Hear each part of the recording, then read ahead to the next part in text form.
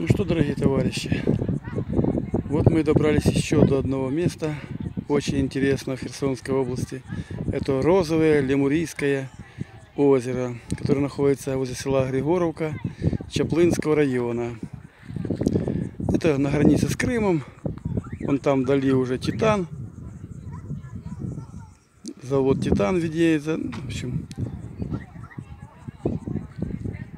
мы продолжаем праздновать сынули день рождения вот таким образом. Так что кто-то это не поймет, кто-то водку пьет, а мы приехали сюда. Я, естественно, купаться не буду, у меня даже в мыслях нет в этот лягушатник лезть. Ну, а люди лезут, гляньте, купаются, машин куча стоит, смотреть. Я в шоке. Ну, как говорят местные, это вот озеро, так называемая яма, у них на их сленге это яма, образовалась от падения советского бомбардировщика еще в 60-е годы. Он был с боеприпасами и рванул так, что здесь образовалась воронка в диаметре 40 метров. Вот поэтому... А потом вода затекала из севаша. И вот такое чудо образовалось лечебное, не лечебное, Бог его знает. Одни говорят лечебное и едут, гляньте, Бог знает откуда, полечиться. Некоторые говорят, что это дурдом полный, обмануха, за, замануха. Ну, ребяточки, это не мне судить. Кому нравится, пожалуйста, приезжайте, смотрите, изучайте эту проблему.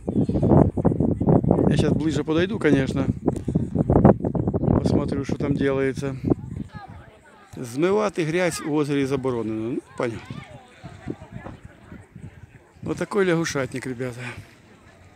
Да, ну на самом деле розовая, как ни странно. Здесь такая концентрация соли, что утонуть здесь невозможно. Вон люди, вон женщина плавает, даже ничего не делает, просто лежит спокойненько и все.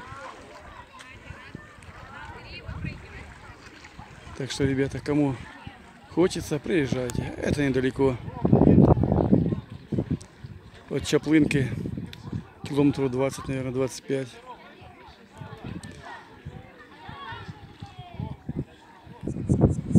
Ветряков, конечно, сотни здесь. Ой, елки-палки. Ну, правда, ветра.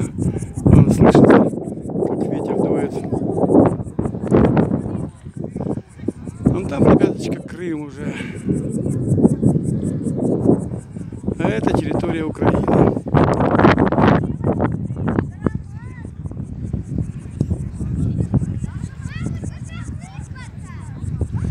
Ну все, пока-пока, всем всего хорошего.